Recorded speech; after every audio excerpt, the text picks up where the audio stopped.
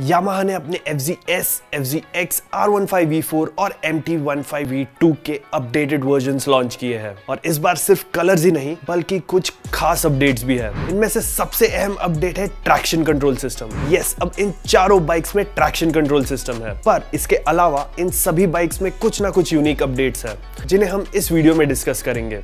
But आगे बढ़ने से पहले बाइक देखो को सब्सक्राइब करें और बेल नोटिफिकेशन आइकन दबाना ना भूलें।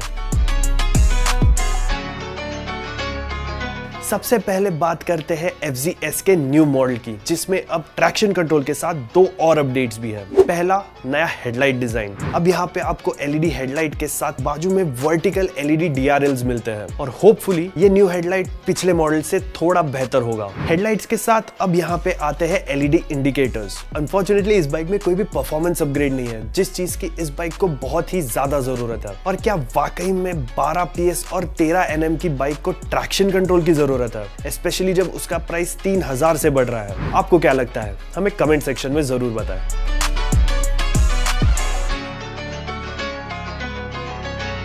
एफ़ के रेट्रो स्टाइल मॉडल एफ़ को अब ट्रैक्शन कंट्रोल के साथ एलईडी इंडिकेटर स्टैंडर्ड मिलते हैं। इसके अलावा यहाँ पे आपको गोल्डन एलॉय व्हील्स और एक न्यू पेंट स्कीम भी मिलती है। बट क्या इसके लिए ढाई हज़ार का प्राइस हाइक जस्टिफाइबल है? वेल well, अगर आप देखें तो एफ़ और एफ़ ये दोनों बाइक्स में डुअल चैनल एबीएस वेरिएंट अभी तक नहीं है। और हमें लगता है कि ट्रैक्शन कंट्रोल की जगह इन बाइक्स में डुअल चैनल एबीएस की बहुत ज़्यादा नीड है।